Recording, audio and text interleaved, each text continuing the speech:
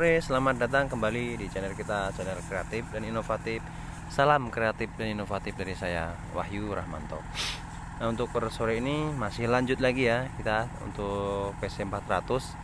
Nah, ini kita sudah mulai langkah ke pembersihan ya atau cleaning atau dan pengecekan komponen ini di bagian PLS palap atau pressure load sensing palap yang nanti akan digunakan sebagai sensingan yang mengatur sudut pompa ketika merger eh ketika di fed maksud saya seperti itu. Eh, dan juga mer, apa merger divider nanti akan diatur lah ini sama si eh, PLS ini atau pressure load sensing ini.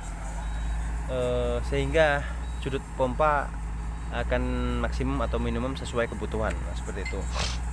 Nah saya akan jelaskan di posisi eh, di fed dulu ya atau steering biasanya nah saat steering maka uh, ini di sini ini mengatur pompa satu dan pompa dua ya atau sensingan ini mengatur sudut pompa satu dan pompa dua ya yang outputannya nanti yang di sini ya yang ada host ini kita copot ya host 2 ini untuk satunya ke P1 satunya ke P2 nah ketika ada eh, kita lakukan kontrol parut masih netral dulu ya kita masih netral dulu kita aktifkan kontrol parut maka tidak ada pressure yang akan menuju uh, apa?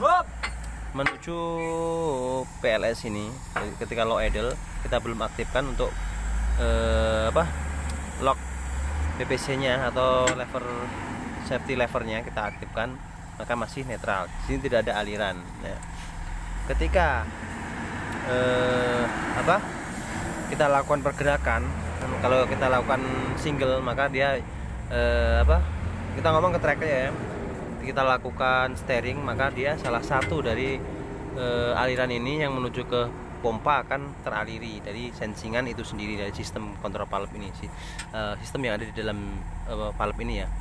Nah kok bisa seperti itu? Nah e, ini kita ada namanya komponen popet valve ya. Ini ada di sini. Ya ini akan menutup jalur yang akan ke sini nanti ketika nggak ada aliran ya. Dia akan e, ada spring yang ini. Spring valve ya. Eh maaf. Yang ini posisinya seperti ini. Nah seperti ini. Jadi dia akan terdorong ke, ke bawah dan menutup e, jalur dari samping. Nah, dari aliran itu dari samping sini ya dari samping sini. Dia akan mendorong si popet valve ke atas baru akan mengaktifkan e, mengirimkan flow atau sensingan tadi yang akan mengatur sudut pompa. Jadi apabila ini ber, oh, terjadi masalah atau problem jam nah ini bisa mengakibatkan kemiringan sudut pompa yang tidak maksimal dan juga mengganggu dari eh, apa P1 sistem dari P1 dan P2 itu sendiri. Nah, kita akan bahas lagi di sini. Jadi dari jalur tadi ketika kontrol valve sudah aktif atau kita gerakan ya kita menuju travel ya sensingan dari travel tadi kita ke steering ya steering ya.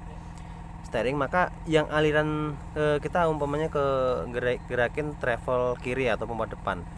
Maka jalur pompa depan akan ter, e, apa akan aktif ya yang di, kita gerakan track kiri. Maka sensingannya akan keluar melalui e, salah satu apa dari lubang ini e, lubang popet valve nih.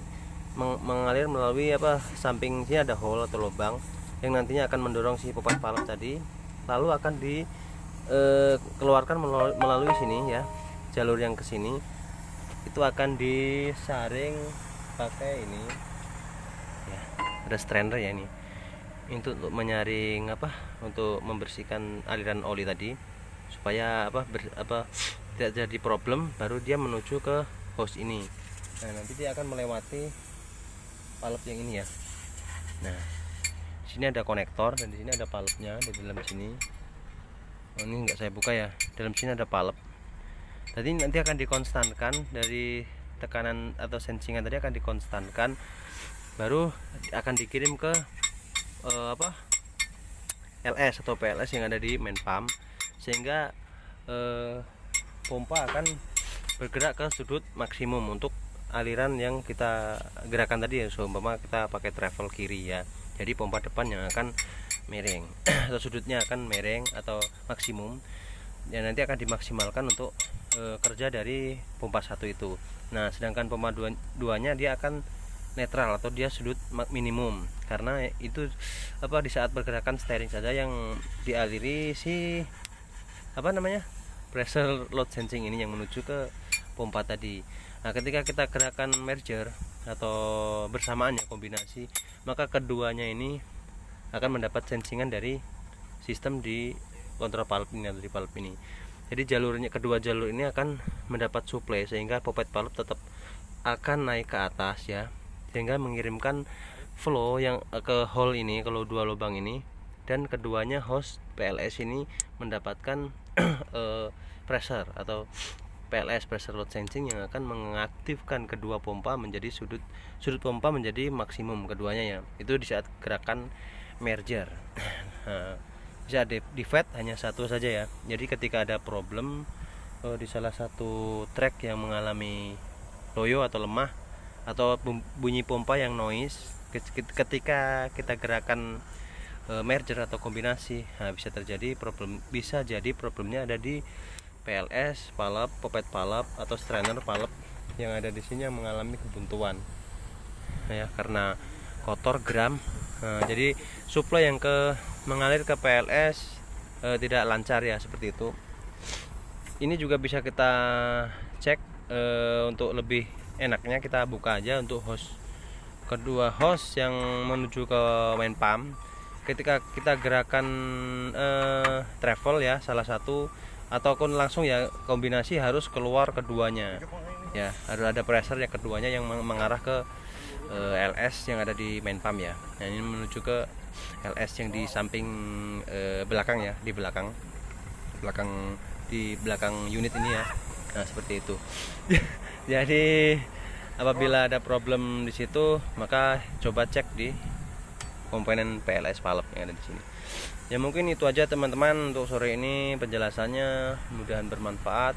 Eh, semoga ke depannya bisa selalu memberikan tutorial-tutorial yang bermanfaat berbagi ilmu pengetahuan pengetahuan seputar dunia alat berat.